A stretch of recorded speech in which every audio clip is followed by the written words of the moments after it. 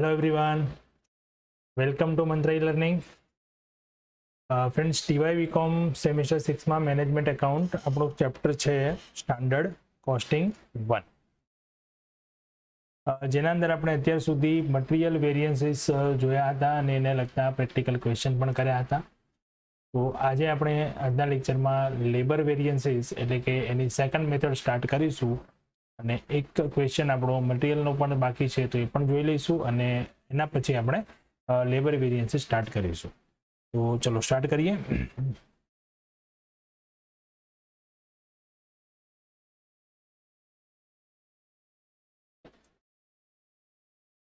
First આપણે જોઈશું question number eleven જે મટીરિયલ વેરિયન્સીસનો ક્વેશ્ચન છે, એ કમ્પ્લીટ કર્યા પછી આપણે લેબર વેરિયન્સ સ્ટાર્ટ કરીશું. ઓકે ક્વેશ્ચન છે અહીંયા calculate material mix variance from the following data only material mix વેરિયન્સની જ આપણે અહીંયા કેલ્ક્યુલેશન કરવાની છે. ડેટા આપેલ છે એમાં પ્રોડક્ટ એ અને બી સ્ટાન્ડર્ડ છે એનું two hundred units A at rupees twelve and hundred unit B at rupees ten actual આપેલ છે one sixty unit at thirteen rupees and one forty unit at rupees ten હવે અહીંયા જોઈએ આપણે તો ટોટલ જે કરીએ તો જે સ્ટાન્ડર્ડ મિક્સ છે અહીંયા ટોટલ થાય છે થ્રી હંડ્રેડ અહીંયા પણ ટોટલ થઈ જાય છે થ્રી હંડ્રેડ જ્યારે મિક્સ વેરિયન્સ આપણે ગણવાનું હોય, તો આપણે ટોટલ સ્ટાન્ડર્ડ ક્વોન્ટિટી અને ટોટલ એકચ્યુઅલ ક્વોન્ટિટી ખાસ ચેક કરી અને પછી મિક્સની ફોર્મ્યુલા કઈ આવશે એ આપણે ધ્યાનમાં રાખવાનું હોય છે. જો અહીંયા આ ટોટલ સરખું નથી, તો આપણે રિવાઇઝડ સ્ટાન્ડર્ડ મિક્સ ગણવું પડે છે. ઓકે, પણ અહીંયા તો બંને સરખી છે. પણ આગળ સૂચના આપી છે it was decided to reduce the use of A by fifteen percent due to its shortage and increase of consumption B by thirty percent એનું પ્રોડક્ટ એનું કન્ઝપ્શન ઘટાડવાનું છે ફિફ્ટીન પર્સન્ટ અને બીનું કન્ઝપ્શન થર્ટી પર્સન્ટ વધારવાનું છે. તો આ જે થયું ને, એ પણ રિવાઇઝ જ થયું કહેવાય. રિવાઇઝડ એટલે આપણે એ રીતે નથી કરવાનું હોતું કે સ્ટાન્ડર્ડ અને એકચ્યુઅલ ક્વોન્ટિટીની જે ટોટલ છે એ મિક્સ એ સરખું નથી, તો તો રિવાઇઝ કરવું જ પડે આપણે વેરિયન્સ ફાઇન્ડ કરવા માટે. બટ અહીંયા ટોટલ સરખું છે એમ છતાં છતાં પણ આપણને ઇન્ટરનલી એ અને બીના જે કન્ઝપ્શનની અંદર આપણને સૂચના આપેલી છે કે આપણે એના અંદર ચેન્જીસ કરવાના છે. તો આ ચેન્જીસ એ પણ એક ટાઈપનું રિવાઇઝડ થયું કહેવાય અને એના સાથે આપણે રિવાઇઝ ક્વોન્ટિટી ફાઇન્ડ કરી અને સ્ટાન્ડર્ડ મિક્સ ફાઇન્ડ કરી અને મિક્સ વેરિયન્સ ગણવું પડશે. જો આ ટાઈપની આપણને ઇન્ફોર્મેશન પ્રોવાઈડ કરી હોય તો. ઠીક છે? ચલો ક્વેશ્ચન જોઈ લીધું આપણે? હવે જોઈએ એનું સોલ્યુશન મિક્સ વેરિયન્સ જે છે, એના માટે આપણે કેલ્ક્યુલેશન કરીએ તો સ્ટાન્ડર્ડ અને એકચ્યુઅલ જે આપણને ત્યાં આપેલું છે, એના માટે પહેલાં જોઈએ.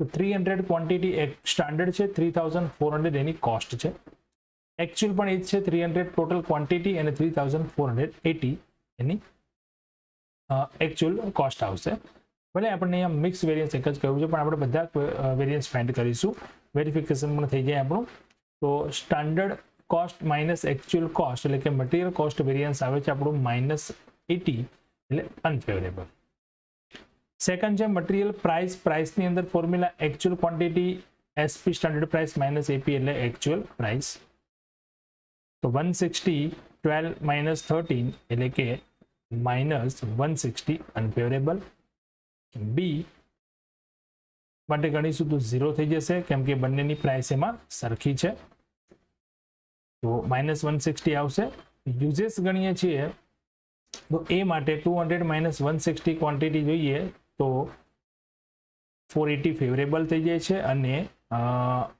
માઇનસ ફોર હંડ્રેડ અનફેવરેબલ એટલે કે એટી ફેવરેબલ તો એટી માઇનસ વન સિક્સટી એટલે માઇનસ એટી અહીં આપણું મેચ થઈ જાય છે. બરાબર છે? કોસ્ટ પ્રાઇસ અને યુઝેસ આ ત્રણ વેરિયન્સ જે આપણે ગણતા હોઈએ છીએ, તો એ આપણે અહીંયા મેચ થઈ રહ્યા છે. ઓકે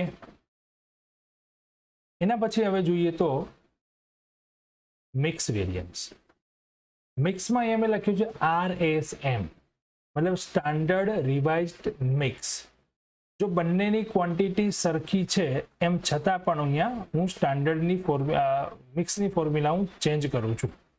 જો આપણે અગાઉ એવી સૂચના આપી હતી એમણે કે જ્યારે પણ આપણે આ ક્વોન્ટિટી જે સ્ટાન્ડર્ડની ક્વોન્ટિટી છે ટોટલ એ અને એકચ્યુઅલ ક્વોન્ટિટી જે છે બંને સેમ હોય, તો મિક્સની ફોર્મ્યુલામાં પણ આપણે એસએમ માઇનસ એમ જ લખવાનું છે. આરએસએમ નથી ગણવાનું. બટ અહીંયા આપણને પર્ટિક્યુલર ઇન્ફોર્મેશન આપી છે કે એ એનું કન્ઝપ્શન ઘટાડવાનું છે અને બીનું કન્ઝપ્શન વધારવાનું છે. તો ઇન્ટરનલી જે મટીરિયલ છે એના અંદર ચેન્જીસ થાય છે. અને ચેન્જીસ થાય તો આપણે એની રિવાઇઝ ક્વોન્ટિટી ફાઇન્ડ કરવી પડે. અને એ રિવાઇઝ ક્વોન્ટિટી ફાઇન્ડ કરીએ તો એને કહેવાય રિવાઇઝડ સ્ટાન્ડર્ડ મિક્સ હંમેશા સ્ટાન્ડર્ડ કોસ્ટિંગમાં ધ્યાન રાખો. કે જે પણ ચેન્જીસ થાય, જે પણ ફેરફાર કરવાનો હોય, જે પણ નવી વેલ્યુ ફાઇન્ડ કરવાની આવે, એ બધું જ આપણે બજેટ એટલે કે આપણે જે ડિસાઇડ કર્યું હોય, જે નક્કી કર્યું હોય, એના અંદર એટલે કે સ્ટાન્ડર્ડમાં ચેન્જીસ કરી શકાય. એકચ્યુઅલ જે છે, એમાં કોઈ ચેન્જીસ થાય નહીં. એ તો એઝ ઇટ ઇઝ જ રહેશે. તો એમાં ફિફ્ટીન પર્સન્ટ માઇનસ કરવાના છે, તો એનું કન્ઝપ્શન વન સેવન્ટી થઈ જશે અને બીનું કન્ઝપ્શન વન થર્ટી થઈ જશે. અને ટોટલ પણ અહીંયા હંડ્રેડ જ રહેશે. તો આ સાથે આપણે મિક્સ વેરિયન્સ જો ગણીએ, તો આવશે one twenty favourable four A and four B hundred unfavourable and total twenty favourable. Okay? હવે જ્યારે મટીરિયલ મિક્સ વેરિયન્સ જો આપણે ગણ્યું હોય અને એમાં એસએમની જગ્યાએ જો આપણે આરએસએમ લખ્યું હોય, તો પછી ત્યાં આપણે અલગથી એક વેરિયન્સ ગણવું પડે, જેનું નામ છે મટીરિયલ સબયુઝેસ વેરિયન્સ આ કમ્પલસરી ગણવું પડે. જ્યારે મિક્સની ફોર્મ્યુલામાં તમે આરએસએમ નો યુઝ કર્યો હોય ત્યાં ઓકે ચલો. એસએમ ટુ હંડ્રેડ હતા વન સેવન્ટી રિવેસ ક્વોન્ટિટી હતી એની. તો એનું મળી જશે થ્રી સિક્સટી અને અહીંયા મળી જશે three hundred and final sixty તો સિક્સટી ફેવરેબલ અને ટ્વેન્ટી ફેવરેબલ મટીરિયલ મિક્સ જે છે એ ટ્વેન્ટી અને મટીરિયલ સબ યુઝેસ છે એ છે સિક્સટી તો ટોટલ આપણે જો આનું કરીએ તો એ થઈ જાય છે એટી ફેવરેબલ હવે આપણે જ્યારે જે અહીંયા જોયું હતું યુઝેસ તો એ પણ કેટલું હતું એટી એટલે યુઝેસ વેરિયન્સ જે છે એમાં આપણે એકચ્યુઅલ જે ક્વોન્ટિટી હતી, એટલે કે સ્ટાન્ડર્ડ જે હતું એ જ લખ્યું છે એકચ્યુઅલ જે હતું એ જ લખ્યું છે. પણ ઇન્ટરનલી આપણે જે મટીરિયલની ક્વોન્ટિટી ચેન્જ કરી એના કારણે આપણે આરએસએમ ગણ્યું. તો આરએસએમના કારણે મિક્સ વેરિયન્સ જે છે એ અલગ થાય છે અને એની સાથે જો જે ડિફરન્સ જે આવે છે એ આપણું સબ યુઝર્સમાં એડ થઈ જાય છે. તો આ હતું આપણું એક મટીરિયલ વેરિયન્સનો એક ક્વેશ્ચન બાકી હતો એ. આ સાથે આપણે અહીંયા મટીરિયલ વેરિયન્સીસના ક્વેશ્ચન કમ્પ્લીટ કરીએ છીએ અને હવે આપણે સ્ટાર્ટ કરીશું labour variances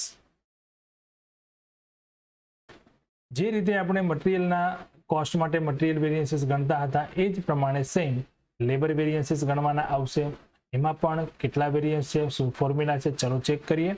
labour cost variance આવશે ફર્સ્ટ જેની ફોર્મ્યુલા છે S H into A R minus A H into A R એટલે કે standard cost minus actual cost same જે મટીરિયલ વેરિયન્સની ફોર્મ્યુલા હતી એ જ. પણ અહીંયા ચેન્જ થાય છે એસ આર અને એસ એચ એટલે કે જે વર્ડ્સ જે છે જે એમાઉન્ટ આપણે જે વેલ્યુઝ લેવાની છે એ ચેન્જ થશે એટલે ફોર્મ્યુલા બધી ચેક કરી લઈએ labour rate variance rate વેરિયન્સમાં A H S R minus A R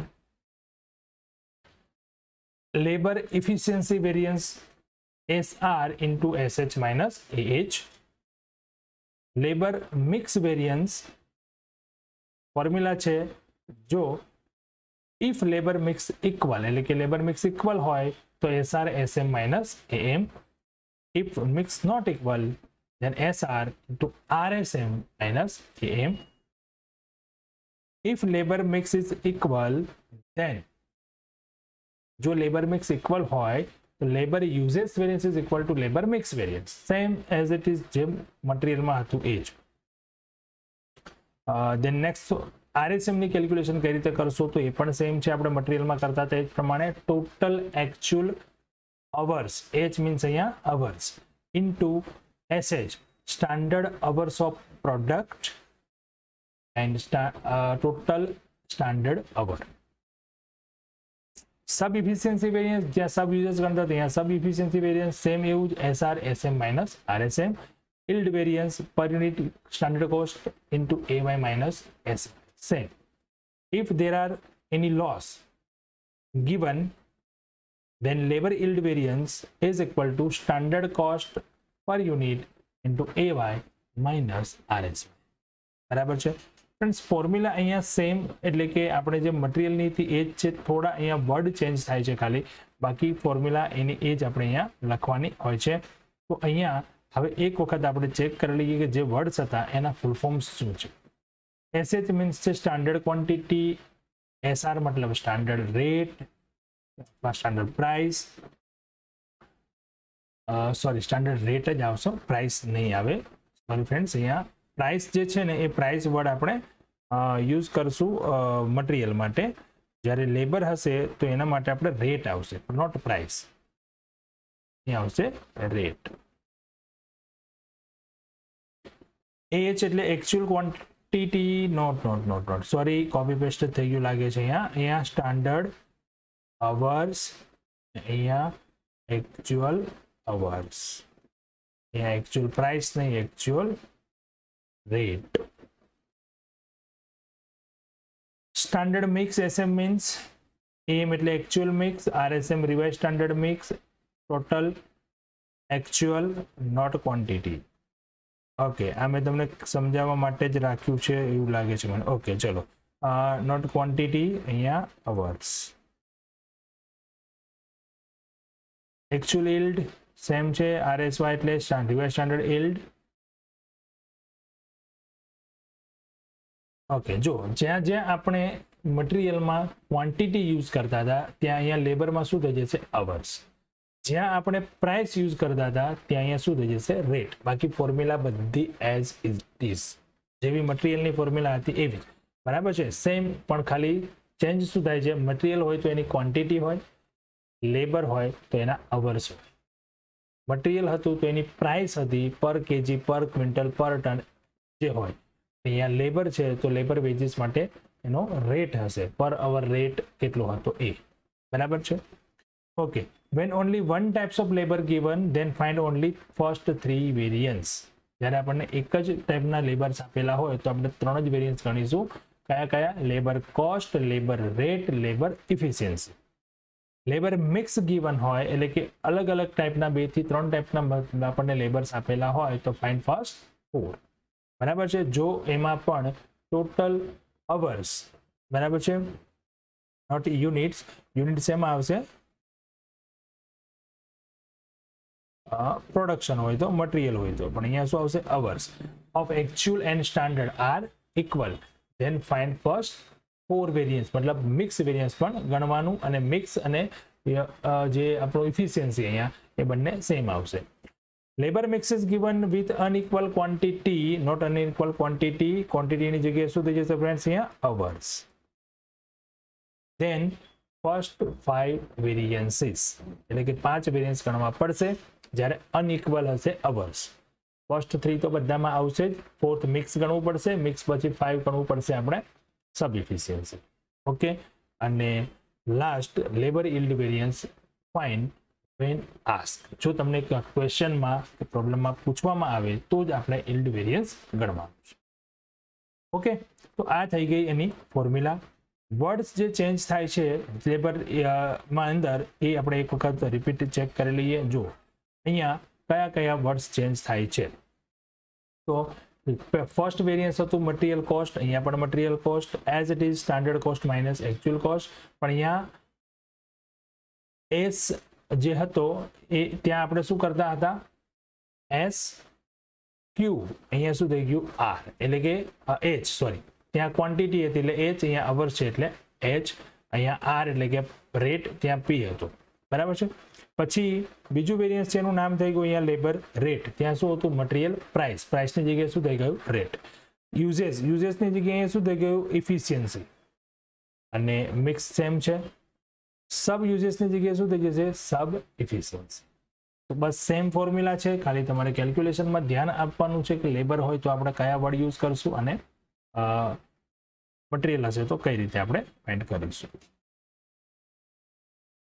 ચલો, એક એક્ઝામ્પલથી સમજીએ પહેલાં. લેબર વેરિયન્સીસની કેલ્ક્યુલેશન સેમ આપણે ગણતરી કરીએ છીએ પ્રમાણે જ છે, પણ હું એક્ઝામ્પલ આપીશ તમને. Standard labour hours use ten thousand and rate per hour one point five છે. Actual labour hours use eleven thousand and rate per hour છે one point four four okay તો જો આપણે કેલ્ક્યુલેશન કરવી હોય તો આ રીતે ફોર્મેટ બનશે આપણું hours into rate standard ten thousand hours હતા વન પોઈન્ટ ફાઇવ એનો રેટ હતો, તો ફિફ્ટીન થાઉઝન્ડ એકચ્યુઅલ ચેક કરીએ તો એકચ્યુઅલ અવર્સ હતા ઇલેવન થાઉઝન્ડ અને વન પોઈન્ટ ફોર એનો રેટ હતો સો થઈ જશે ફિફ્ટીન થાઉઝન્ડ ફોર હંડ્રેડ તો પહેલું આપણું વેરિયન્સ છે મટીરિયલ કોસ્ટ વેરિયન્સ એટલે કે fifteen thousand minus fifteen thousand four hundred so minus four hundred answer મળશે આ કયું વેરિયન્સ મળ્યું આપણને સોરી લેબર કોસ્ટ વેરિયન્સ બરાબર છે પછી મળશે આપણને બંને ક્વોન્ટિટી સોરી અવર્સ વચ્ચેનો ડિફરન્સ જોઈએ તો માઇનસ વન થાઉઝન્ડ છે. અને રેટ વચ્ચેનો ડિફરન્સ જોઈએ તો માઇનસ ઝીરો વન છે પ્લસ ઝીરો પોઈન્ટ વન છે. તો આને હવે આપણે કોની સાથે મલ્ટીપ્લાઇડ કરશું? કોની સાથે મલ્ટીપ્લાઇડ કરશું? જો અવર્સ જે છે એને મલ્ટીપ્લાઇડ કરશું આપણે રેટ સાથે. એટલે ફોર્મ્યુલા બની ગઈ આપણી. આજે છે શું છે? એસ આર અને આ બંનેનો આપણે ડિફરન્સ કોનો લીધો? S H minus A H અહીંયા આજે છે એ શું છે આપણી? ક્વોન્ટિટી કઈ ક્વોન્ટિટી છે?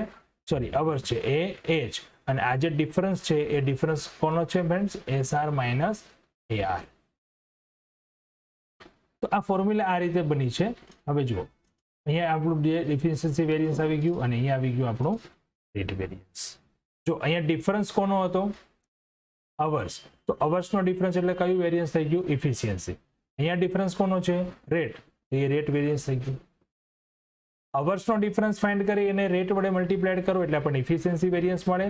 રેટનો ડિફરન્સ ફાઇન્ડ કરી અને એકચ્યુઅલ અવર્સ વડે મલ્ટીપ્લાય કરો તો શું મળી જાય? રેટ વેરિયન્સ અને આ ટોટલ કોસ્ટ વેરિયન્સ આ હતું.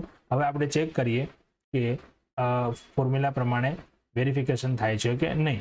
માઇનસ ફિફ્ટીન હંડ્રેડ અને પ્લસ ઇલેવન હંડ્રેડ બંને વચ્ચેનો ડિફરન્સ એ થઈ ગયો માઇનસ ફોર હંડ્રેડ એટલે કે જે લેબર કોસ્ટમાં જે વેરિયન્સ આવે છે ટોટલ માઇનસ ફોર હંડ્રેડ એનું રીઝન ઇફિશિયન્સીમાં માઇનસ ફિફ્ટીન હંડ્રેડ થાય છે અને રેટમાં થાય છે પ્લસ ઇલેવન હંડ્રેડ એટલે કે જે લેબર કોસ્ટમાં જે આપણો વેરિયન્સીસ આવે વેરિયન્સ આવે છે ફોર હંડ્રેડ એ ફોર હંડ્રેડનું રીઝન ઇફિશિયન્સી નેગેટિવ જાય છે અને રેટ પ્લસ જાય છે. મતલબ કે ઇફિશિયન્સી એટલે કે અવર્સ વધારે યુઝ થાય છે. જે આપણે ડિસાઇડ કરીએ તેના કરતાં વધુ યુઝ થાય છે. સો આપણી લેબર કોસ્ટ છે એ નેગેટિવ છે. ક્લિયર છે? તો આ છે વેરિયન્સીસની કેલ્ક્યુલેશનનો ખાસ એક કન્સેપ્ટ ક્લિયર કરવા માટે આપણે જોઈએ. બરાબર છે ફ્રેન્ડ્સ તો નેક્સ્ટ લેક્ચરમાં આપણે મટીરિયલ સોરી લેબર વેરિયન્સીસના ક્વેશ્ચન સ્ટાર્ટ કરીશું. ત્યાં સુધી તમારે આ દરેક ફોર્મ્યુલા તૈયાર કરી રાખવાની છે ખાસ. અને આ એક જે એક્ઝામ્પલ મેં સમજાયું, એ રીતે કન્સેપ્ટ આપણો ક્લિયર રાખવાનો છે. ઠીક છે? તો મળીશું નેક્સ્ટ લેક્ચરમાં આપણે નવા લેબર વેરિયન્સીસના ક્વેશ્ચન્સ સાથે. Okay thank you and have a good day